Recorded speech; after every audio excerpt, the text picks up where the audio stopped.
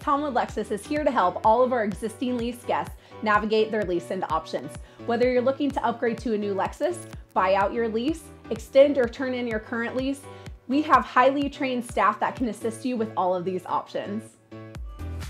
We recommend starting your lease end process six months before your maturity date so that we can go over options such as our Lexus Payment Waiver Program, the pre-inspection process, financing, and additional vehicle protection products available to you. Please call to schedule an appointment and I promise to make it fun, seamless, and informative.